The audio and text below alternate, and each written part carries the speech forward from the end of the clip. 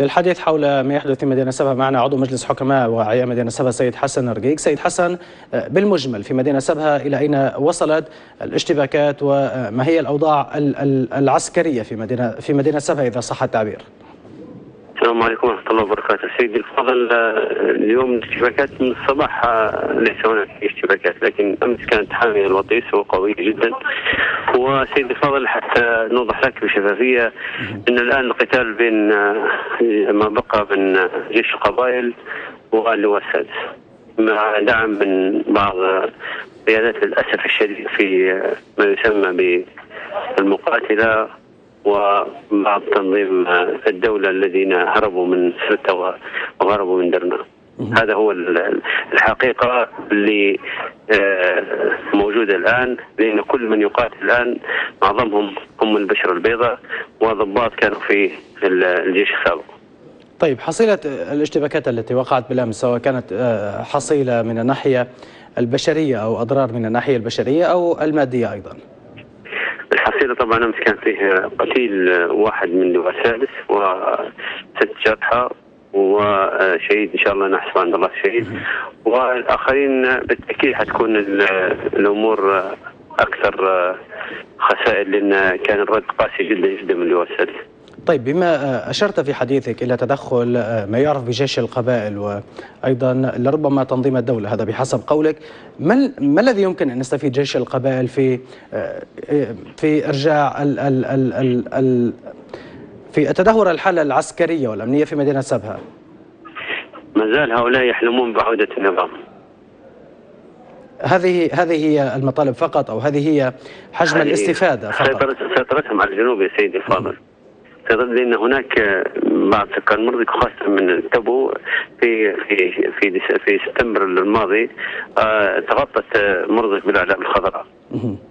وهذا عندما يسيطر على الجنوب وخاصة سبها يبقى جزء كبير من ليبيا انشل واللي سيطر على الجنوب هو سيطر على جزء كبير من ليبيا. هو بدايه يحسبون أنفسهم بأنها بداية النهايه وفعلا من يسيطر على الجنوب يغلق ليبيا كلها صح بالفعل يعني. طيب ولكن بحسب هذا الحديث واللواء السادس هو جهة رسمية أو قوة أمنية رسمية تتبع للرئاسة المقترحة ليس من المفترض هنا تحرك الرئاسة المقترح بقوات أو بدعم لوجستي أو مادي إلى اللواء السادس ماذا؟ لحد الآن ليس هناك دولة غائبة الدولة تماما في المنطقة الجنوبية لماذا؟ لماذا برأيك؟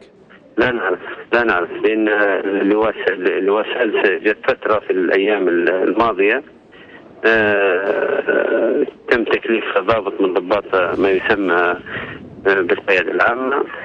وأما من داخل الضباط وجيش اللواء السادس هم يعرفون ليبيا وشرعية ليبيا التي في الوفاق طيب من ناحية من ناحية أخرى من ناحية من ناحية أخرى سيد حسن. سيد حسن. صحيح بالفعل يعني لا أخفيك سرا أن هناك دعم من الذخائر والأسلحة جاءت من المنطقة الشرقية وهذا صحيح وهذا واقع للعيان لدعم اللواء السادس لكن هذا ما يعني إن تبعيتهم بالكامل كجنود ضباط للمنطقة الشرقية باعتبار إن هذه الاستحواذ هذه الذخائر جاءت من رزق ليبيا ورزق ليبيا سواء كان في الشرق والغرب في النهاية هو حق لكل الليبيين. طيب دعني من دعني من هذا الملف. في ملف آخر أو في نقطة أخرى جهود المصالحة والحوار مع مثلا مع جيش القبائل والوصول إلى نقطة توافق ومن بعدها يبنى التوافق بين الطرفين أين جهود المصالحة في ذلك؟ سيدي الفاضل جيش القبائل وما بقى من من الذين بأمانة يعني حتى كثير من السبتمبريه تأخروا وقالوا واستهانوا للواقع واقتنعوا بالواقع لكن بعض منهم ما زال يرقص رقصة المذبوح ما بقى من هؤلاء. يعني لا أظلمهم كلهم بصراحة لأن هناك في ناس أصبحت يد بناء وأصبحت تساعدنا وأصبحوا مستعدين للنقاش ومستعدين لكن هناك منحرفين وهناك شواذ كل قاعدة فيها شواذ هناك شواذ إلى حد الآن يحلموا ولذلك هؤلاء يعملوا لشلل الدولة بأي طريقة كانت شلل هذه المنطقة بأي طريقة كانت. المهم حتى رغم رغم هم يعرفون انهم قد لا يصلون بسهولة لكن المهم عندهم خطة تدميرية يدمروا البلد ويشلوها في الجنوب. طيب المتحدث باسم حكماء وعي مدينة سبا كنت معنا عبر الهاتف شكرا جزيلا لك.